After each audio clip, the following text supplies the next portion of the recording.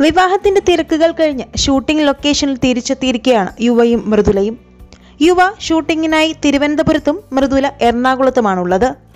വിവാദങ്ങളോട് മൃദുലയും യുവയും സമയം കേരളത്തിന് നൽകിയ ഇന്റർവ്യൂവിലാണ് പ്രതികരിച്ചത്.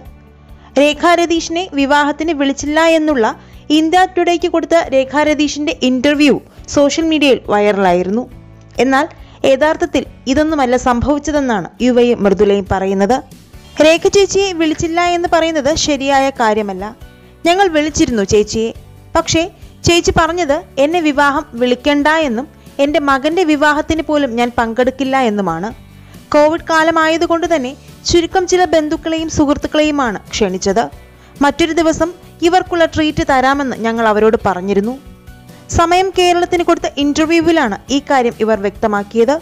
കൂടാതെ പാലുകാച്ചി കയറിയ വീട് ഞങ്ങളുടെ സ്വന്തമല്ല എന്നും തിരുവനന്തപുരത്ത് താൻ ലീസിനെടുത്ത വീട്ടിൽ മൃദുലയെ കൊണ്ടുപോയപ്പോൾ പാലുകാച്ചി കയറിയതെന്നുമാണ് യുവ പറഞ്ഞത്.